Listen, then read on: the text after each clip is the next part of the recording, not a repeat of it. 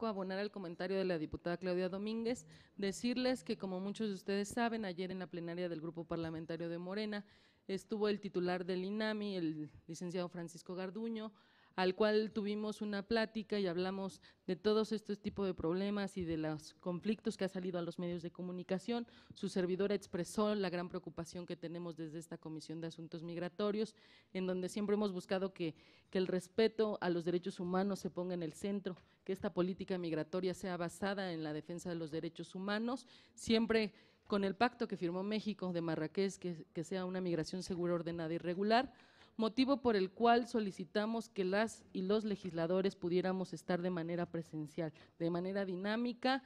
estando ahí para confirmar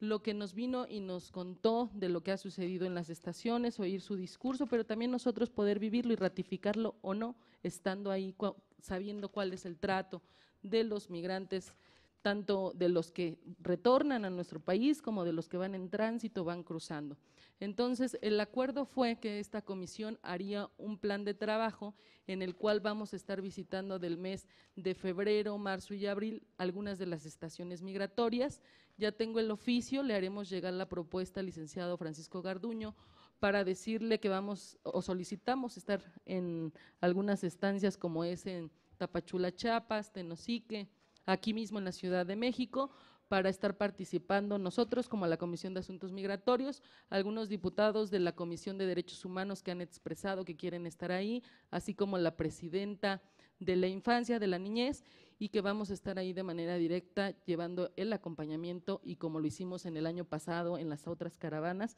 supervisando cuál es el trato porque lo que queremos es que se garantice el buen trato a las y a los migrantes, porque cuando hablamos de migración hablamos de personas, hablamos de niñas, niños, de mujeres embarazadas, no de simples cifras, y eso es lo que a nosotros, las y los compañeros, nos preocupa. Cedería el uso de la, de la palabra a la diputada Claudia Domínguez y si alguien más quiere hacer una intervención, adelante.